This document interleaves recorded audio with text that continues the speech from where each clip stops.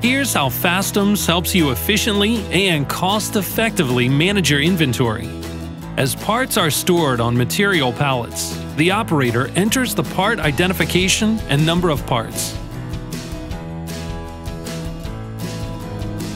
Then he sends the pallet to storage, and your part inventory is automatically updated.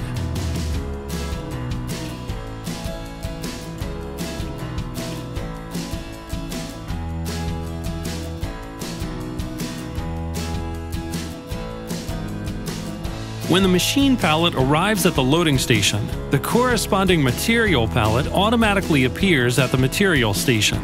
The station commander will inform the operator of which material to load and confirm the loading of the needed parts. Then the material inventory is automatically updated again. You can also manually order any pallet at any time to the material station. Fastems material management system keeps production running smoothly reduces labor cost, and puts you in control.